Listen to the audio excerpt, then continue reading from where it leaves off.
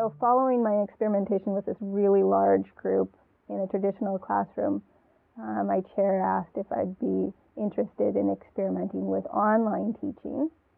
I thought, hmm, potentially. I'm getting used to it a little bit. I'm seeing its benefits. Um, and maybe I can just flip it the other way, do most of the content online, but some of the content face to face.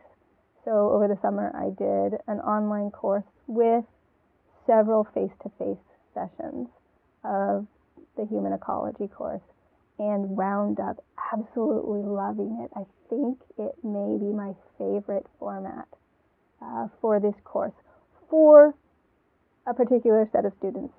For another type of students, I really still do like the traditional classroom.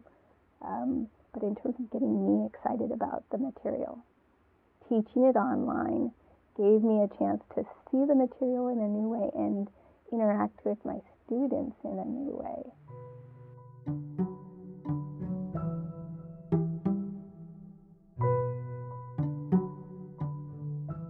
So, one of my favorite aspects of the human ecology class is this um, natural resource management simulation game. It's a fishing boat exercise uh, developed by Gene Myers, um, and then I've extended it a little bit from there, um, where the students come and they act like fishermen or fisherwomen.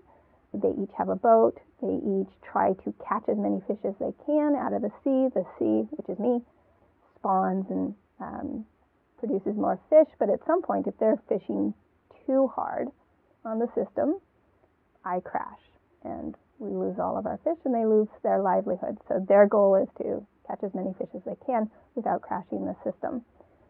This is obviously a face to face game. It is super low technology. The fish are little styrofoam or foam fish pieces. Their boats are little yogurt containers. I mean, it's very much about the conversation that we have, uh, engaging with each other, and the students interacting with each other, seeing what the other boats are doing, fighting to fish harder, not knowing how many fish are in the ocean, and that entire process. When I went to the online course, I couldn't take that game away because it taught so much about natural resource management. But half of my students were around our town, and half of my students in the online course were elsewhere, especially out on the Olympic Peninsula. And so I needed to figure out a way to teach the course, or teach that game in the course in a new way, in a sort of blended environment. Half of the students came in for a face to face meeting um, if they were on campus, and we played the game as we would traditionally play the game half the students who were away, I set up a collaborative online meeting space. One that luckily had uh, a few technologies. It had a voting feature. Uh, it had a chat feature that allowed the students to chat with each other.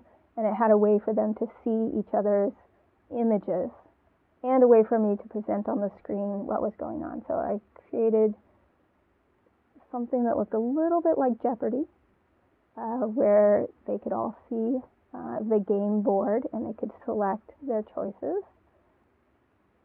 And they immediately took the technology and started chatting with each other, even faster um, and in more complex ways than the students in the traditional classroom. They immediately started talking with each other about what should we do as a group, even though they had never met each other face to face and they were in all these different places.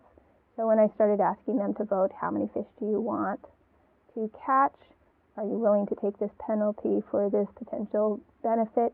Um, students started using the chat feature to say, hey, I'll chip in and I'll help you pay the penalty if you'll be willing to do the management strategy, which I think will improve the whole fishing series. And they were more successful than the traditional students uh, in not crashing the system and then actually getting the system to a point of sustainability, which I found fascinating.